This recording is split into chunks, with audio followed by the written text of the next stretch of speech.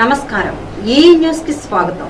కపిలేశ్వరపురం తెల్లవారుజామున రాజస్థాన్ నుండి కుటుంబంతో సహా యానం వెళ్తున్న టయోటో కారు కపిలేశ్వరపురం సమీపంలో ఏటుకట్టు మీద అదుపు తప్పి చెట్టును ఢీకొట్టింది ఈ ప్రమాదంలో తక్షణం ఎమర్జెన్సీ బెల్లును ఊపడవడంతో కుటుంబ సభ్యులు ప్రమాదం నుండి బయటపడ్డారు. ప్రమాదానికి కారణం అతివేగమని స్థానికులు అభిప్రాయం వ్యక్తం చేశారు.